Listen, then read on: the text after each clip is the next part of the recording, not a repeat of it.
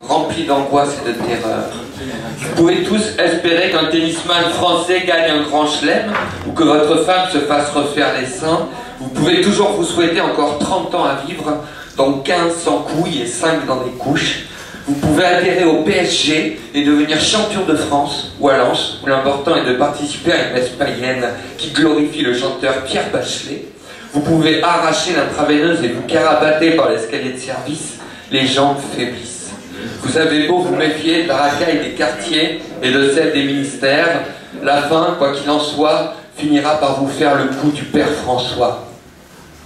En temps de guerre, la faim justifie quelquefois les boyaux arrachés par la gueule façon goujon, les noyaux de vagin enfilés sur des pics en brochette, la déportation de peuples de mauvais goût. La faim est quelquefois en gerbe, quelquefois en grognant, en couleur de temps en temps, ou quelquefois en noir et blanc. Elle a lieu à moto sur une estrade de cirque, seule, accompagnée sur le bord de la chaussée, au bureau, au bordel, dans un espice moisi au fond de son lit, à Honfleur, à Mexico ou bien à Glandon, 8-7, en pleine crise de rage ou rouge de honte. Les vertiges de la haine ressemblent à des plans d'eau comparés à ce vide. Le vide. Oui. La seule chose dont on est sûr, c'est que l'on perd toujours à la fin. La mort en personne.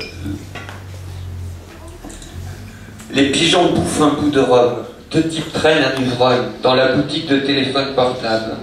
Noailles la belle, sucré comme le miel, la cam au coin des rues, les vendeurs de cigarettes. La mère à Nanette est morte, tout au bout de la vieillesse. Elle ne pesait plus que 25 kilos et Nanette pleure par mes yeux. Misère du désir, misère du plaisir, richesse de tous les drames. Un être qui part, c'est un monde qui s'éteint. Ces destins qui claudiquent comme s'ils n'étaient pas au courant pour la famine, pour le napalm, pour la mort, la mort, toujours recommencer. Pensez au moment où on vous demandera si vous voulez un prêtre ou un imam. Ce soir, en m'endormant, je joue aux morts. Je joins mes mains, ferme les yeux, avec mes 60 kilos tout mouillés, et les marques de plus de 20 ans me défoncent. Il me semble que je suis plutôt crédible, peut-être même un peu trop. Comment leur faire comprendre que je suis une sorte de chat, tellement éloigné de toutes leurs conventions, de toutes leurs intentions, de toutes leurs inventions obscènes et empoisonnées?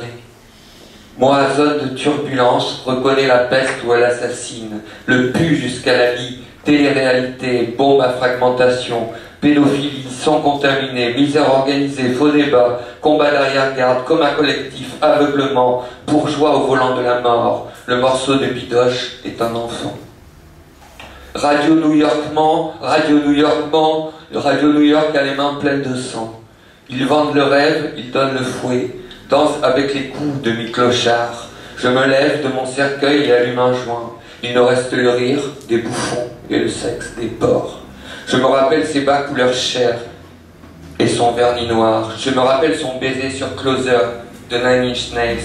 Je me souviens de l'auteur de ce premier des premiers. Je me rappelle sa jupe courte sur ma carte au trésor. Je me rappelle ses 13 ans, j'en avais 12. Je me rappelle qu'elle sentait la tisane et qu'elle m'appelait Gégé. Je me rappelle de la photo de sa fille morte sur la table de nuit. Je me rappelle sa solitude et son regard craintif. Elle est terminée. Quoi? L'éternité.